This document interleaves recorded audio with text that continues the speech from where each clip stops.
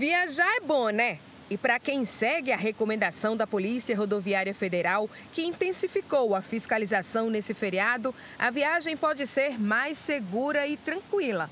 Checar o carro antes de viajar é fundamental. Reduzir a violência no trânsito e proporcionar uma melhor sensação de segurança para quem trafega nas rodovias federais do estado de Pernambuco. É fazer a revisão dos itens obrigatórios do veículo, estado dos pneus, limpadores de para-brisas, porque tem previsão de chuva para o período.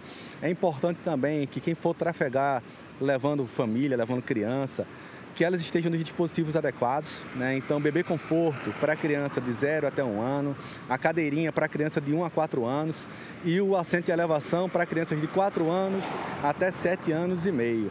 Quem for levar o pet também, que faz parte da família, né? deve levá-lo ou com a guia de transporte que acopla ao cinto de segurança ou na caixa de transporte para que o pet também viaje em segurança. Com carro revisado, quanto mais atenção no volante, melhor porque nos feriados sempre tem mais veículos nas rodovias. De acordo com o DER, 300 mil pessoas devem pegar a estrada nesse feriado.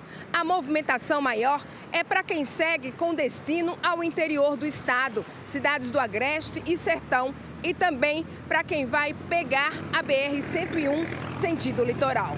A operação da Polícia Rodoviária Federal vai até o próximo domingo com atenção voltada principalmente para quem dirige em excesso de velocidade e mistura álcool e direção. Nesse ponto da BR-232, no Curado, os policiais rodoviários estavam a postos somente para garantir mais fluidez, sendo que quando é percebido algo de irregular, o motorista é parado e pode passar pelo teste do bafômetro.